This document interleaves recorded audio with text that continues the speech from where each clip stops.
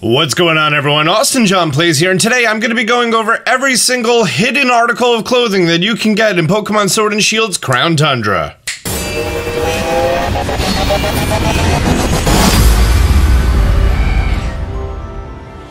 Alright, let's start off with the basics. Soon as you talk to Peony, you can get the Expedition uniform, and after completing Adventure 1, 2, and 3, you get the Gold Expedition uniform, which is the same uniform, but in gold. And then once you're done doing all the Expedition stuff, you're probably going to want to change back into your regular clothes. However, the Expedition uniform, it kind of makes some dope Tims for the outfit, so 10 out of 10 recommend. Now let's go after the fun hidden stuff. Do you remember where you got Slowking?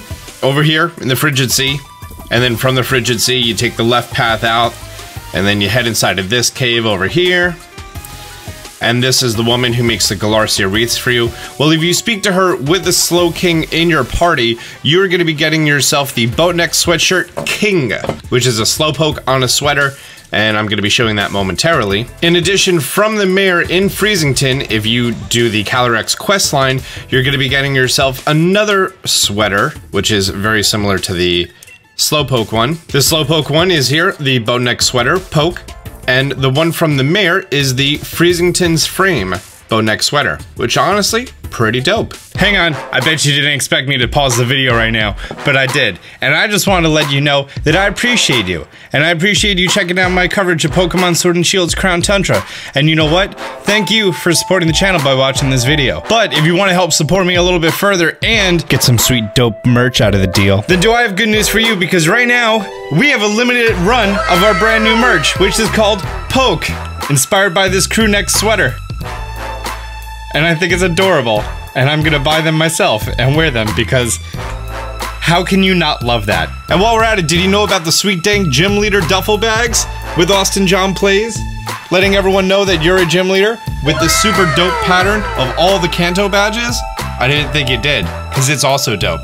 Check it out at austinjohnplays.com slash merch. That's enough about clothes. Let's get back to the video about clothes. If you see my video on the rewards for completing your Pokedex, speaking to this woman with a complete Pokedex is going to get you the brand new crown, which is called the Replica State Crown Original Style. I'm not going to include what that looks like in this video, so you don't spoil yourself. Although you could definitely just probably, I don't know, check out that video. Next up is going to be the Sport Top and Outfit from the Galarian Star Tournament. For that, you have to do the Galarian Star Tournament quest, so I'm gonna go do that real quick. A few moments later. Wait a second. At the end of the Galarian Star Tournament, we have to listen to the band again? Oh, it's the credits again. Just when I thought I was gonna be like, oh, it's gonna be like a quick 10 minute break. Nope, just became 20 minutes. I wonder if the, the mouse is still visible in the last frames. Let's commemorate my victory with the sport uniform and a million dollars. That's pretty awesome. Is ball guy gonna give me a ball? Why is he crying? What's wrong, ball guy? 100 Pokeballs. Cool, I was actually needing to go out and get more for the Dynamax Adventures. Here is the Galarian Sport uniform, which is pretty dope. You have a whole bunch of sponsors on you, including the Game Freak logo. I always think that's a nice touch. Next is going to be the designer outfits for the Wyndon Stadium. However, in order to unlock it, first you have to go to the Isle of Armor train station. Inside of the Isle of Armor, here is the designer. I'm a world-renowned designer of fashion. You're a Galarian, I presume. This is my first time setting foot in this region, and I must say, it seems rather deserted. Uh, you're on the Isle of Armor. I beg your pardon, I disembarked at the wrong station? How fortunate you were here to steer me true. The most heartfelt gratitude to you. And he has an outfit for $3,000. Great, I'm gonna go buy that. A WFG ensemble containing a casual tee, a hoodie, pattern tights, and a sport cap. I'm starting to think that was an outfit that I needed from the last DLC that I just never got. Here is the WFG top. I believe this is all of the Galarian starters in yellow. It's really dope, honestly.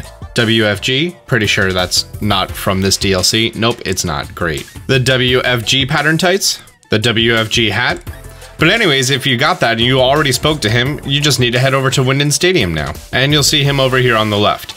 Now he has special text if you have Regieleki caught, and if you have Regidrago caught. I do not know if they need to be in your party. Let's test that out right now. We're, we're gonna get the C and L ensemble containing a hoodie, pattern tights, neat. The C and L hoodie, I'm, I'm not really too sure what's on that. The C and L pattern tights, That's what you get for completing the Galarian Star Tournament. Then speak with him again. It's Regieleki smashing. Okay, so I don't know if it has to be in your boxes or in your party. It doesn't have to be in your party, I know that. Maybe just registered in your Pokedex. Well, anyways, you're going to get the RE hoodie. And if you have Regidrago, then you're also going to get the RD hoodie.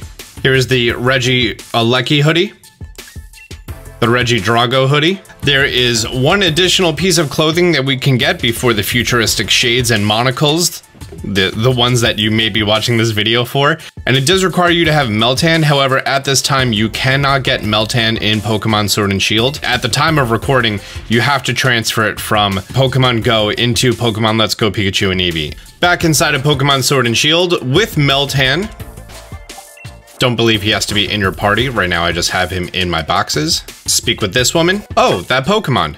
Is that the Hexnut Pokemon Meltan? Sure is, it's a mythical Pokemon. And you're gonna get the Hexnut Sport Cap. Neat. Here is the Hexnut hat. On the top you see a whole bunch of Meltan, and at the bottom are Hex Nuts. Nope, those are machine screws. and then the very last thing is going to be the Futuristic Shades and the Futuristic Monocle, which are from some of the villains in the previous Pokemon games. And these are going to be given out randomly from Peonia in the Max Lair Den after doing Dynamax adventures. So she's going to sell you like locations of certain Pokemon. By the way, I picked up this odd thing in the Max Lair. You can have it. White futuristic shades. Neat. Wow, she gives you a whole bunch of fun, helpful information. After you do every single mission in here, you just want to speak to her a few times She's going to try to sell you a pathway, but then after that, she may randomly give you one of these articles of clothing. Let's go take a look-see at the white shades that we got. There we go. Look at that. That's dope. I'm probably going to have the additional shades on screen right now, as well as the monocles. And great. Guys, that's going to be wrapping up all the articles of clothing that you can get in the brand new Pokemon Sword and Shield DLC Crown Tundra. If you found this video helpful, do me a favor, hit the thumbs up button down below. If you're new to the channel, be sure to subscribe, turn on notifications. Until next time, Austin John out.